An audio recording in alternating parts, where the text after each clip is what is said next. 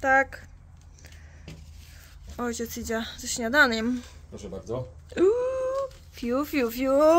Z tego co było, ale, Dziękuję. ale jest. O, Y, panie. idę jeszcze po herbatkę, czekaj.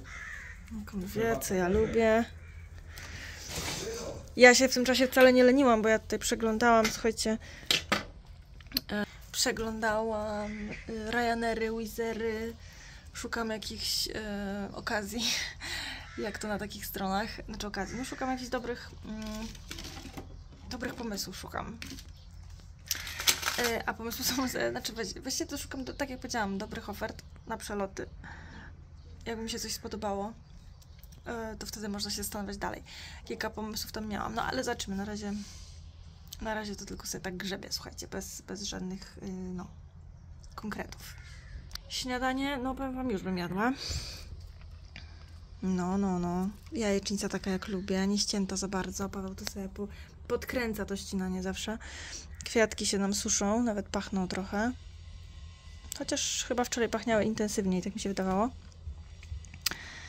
No, śniadanko na bogato bym powiedziała. Bardzo. Bo dziękuję, jeszcze pewnie z cukrem nie jest, nie? to jest ścięte, bo tak Nie, nie, nie, nie. Idealnie. Chodź, bo już bym jadła. Surowe są spoko, tak? Tak, surowe Y, są Ja jeszcze idę po szczypior.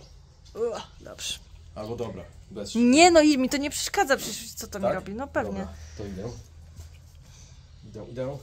To idź. Nie no, ja to chyba muszę zacząć jeść, bo przecież nie wytrzymam. Nie wiem. Nie wiem. Polewam to. Wow.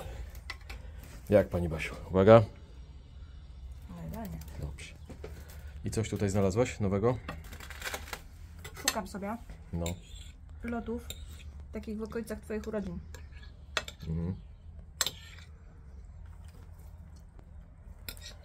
Później Ale ci co? powiem, co Gdańsk, Warszawa czy? Później mi powiesz. Przechodzinek. To już ten wiek, Paweł. No tak. 4-1. Dobrze, że jeszcze nie mam 40. Ty to wiesz co powiedzieć. W takich chwilach. No. Dobra. Jemy? Jemy. Nara. Ciao. Nara.